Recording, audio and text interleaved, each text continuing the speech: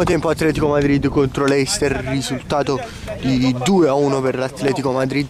Andiamo a intervistare Saiano. Torelli. 2 a 1 per gli avversari, state giocando molto bene, cosa si deve fare nel secondo tempo? Dobbiamo giocare, Va, che non abbiamo giocato il primo tempo. va benissimo, grazie, bocca al lupo. Andiamo da Rocco per l'Atletico Madrid. Rocco 2 a 1 per voi, giocate bene, partita sentita, cosa si deve fare? Eh, bisogna giocare fino all'ultimo minuto, una partita durissima, entrambe le squadre sono tecnicamente valide, una partita molto maschia. Va benissimo, grazie, in bocca al lupo, ci vediamo dopo per Atletico Madrid contro l'Eister. Ciao ragazzi, siamo qui al termine della partita dell'Eister contro l'Atletico Madrid, bellissima partita finita 4 a 1 per l'Atletico Madrid, triplette insieme. Ma fa intervista buona resto. Se andasse in scivareta allora me ne vado.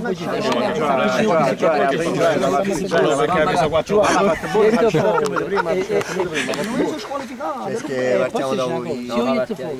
Sarà da partire. No, è prima per te. Fallo via. Barcellona. Eh, ma le chiamate. Ci fatto due biglietti. eh, Seconda Atletico Madrid, Manchester Barcellona. Va bene, Ceschi. Vai, andiamo, andiamo. Partita nervosa, ci sta la tecnica, ma con la testa Io non sto nella testa delle persone, alla fine sempre mia A un certo punto me ne sono pure uscito. sinceramente- Al primo tempo poteva andare diversamente e ci nervosivamo anche di meno se non avevano il solito Batman in porta. Poi il secondo tempo abbiamo totalmente superato, talmente, talmente, talmente.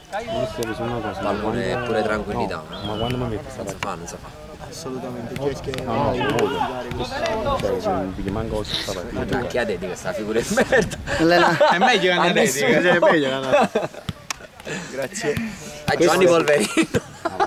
Serio tripletta per te, il primo gol stupendo. Hai aiutato sicuramente la tua squadra a vincere una partita molto sentita.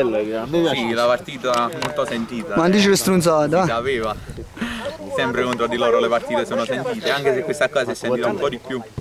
Nervosismo loro anche a mio parere perché una volta che l'ho ha fischiato, comunque ha fischiato, quindi è inutile perdere altro tempo, però alla fine abbiamo portato il risultato a casa. Eh.